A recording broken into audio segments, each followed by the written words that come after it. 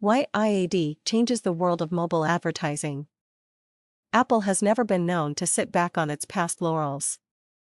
After coming up with the game changing iPhone and iPad devices, Apple steered its inventive streak towards capturing the mobile advertising market and came up with the IAD platform. IAD platform is an in-app mobile advertising product launched by Apple in the April of last year.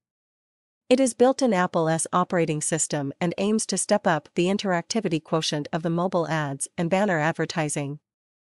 The IAD platform functions on iPhone, iPod Touch as well as iPad. Apple touts IAD platform to be the way via which advertisers can use their mobile ads and banner advertising to connect with the most engaged audience in mobile. With IAD's rich multimedia features creation of diversified apps that take interactivity experience for the user to an all-new high is possible.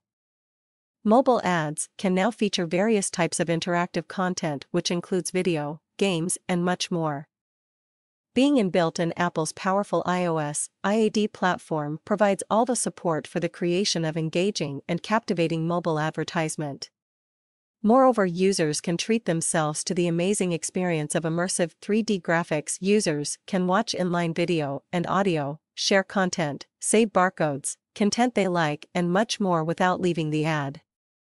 This advanced interactive quotient makes IAD a powerful tool for marketing. It not only dazzles the user, but also makes it convenient for him or her to act upon the advertisement. Moreover, IAD enables the advertisers to build strategic target marketing plans. The advertising platform offers the unique opportunity to reach out to that audience whose chances of converting into a sale are higher. User preferences are tracked as per the apps downloaded and being used. Accordingly, apps relevant to the advertiser's brand are chosen to display the ads thus connecting you with that target audience on which the ad will be most impactful. IAD also provides detailed information about user preferences as well the advertiser's ad campaign performance, which makes connecting with the right market even easier. Track of unique visits made, average time spent by the user, number of conversions made can be kept. This comes in handy for the advertiser to gain an insight into the target consumer's behavior and remodel his advertising strategies accordingly. IAD platform is a boon for developers as well. It makes promotion of their apps a breeze. The developer simply needs to create banner ads for his apps while motivating the right audience to download the app rests with the IAD advertising program for developers.